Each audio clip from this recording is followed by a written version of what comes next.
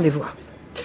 Dans quel monde vivons-nous? S'agit-il d'un vidéo gag ou de vraies caméras de surveillance qui parlent et s'adressent aux passants pour les réprimander? Eh bien, le projet est sérieux. Il est testé dans le nord de l'Angleterre. Maris Burgot, Dominique Marotel. C'est une ville où les caméras de surveillance parlent aux passants. Le monsieur en noir, vous êtes prié de mettre dans la poubelle ce que vous venez de jeter. Ce monsieur obtempère et disparaît le plus vite possible. Et tout le monde de se demander qui se cache derrière cette voix surgit de nulle part. Des passants qui seraient assez stupéfaits s'ils étaient autorisés à rentrer ici.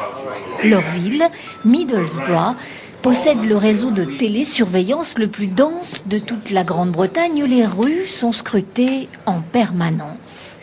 Et pour parfaire le système, les employés municipaux peuvent désormais s'adresser directement aux contrevenants. Ce jeune homme va par exemple négligemment jeter par terre sa cigarette. Monsieur, s'il vous plaît, vous ramassez votre mégot?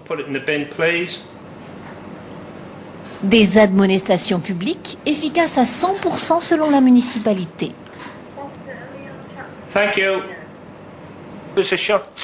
Ce fut un choc quand on nous a demandé de faire cela. Mais euh, avec le temps et les semaines qui passent, on s'habitue. Des rappels à l'ordre qui sont aussi de petites humiliations publiques. Cette femme doit par exemple retourner sur ses pas pour ramasser un papier qu'elle vient de jeter. Pas très agréable.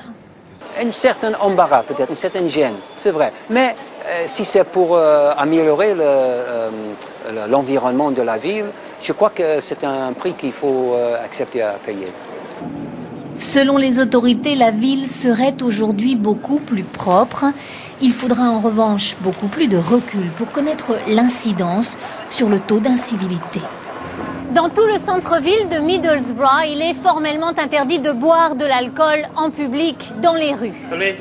Madame, vous êtes dans une zone où l'alcool n'est pas toléré. Abstenez-vous de boire.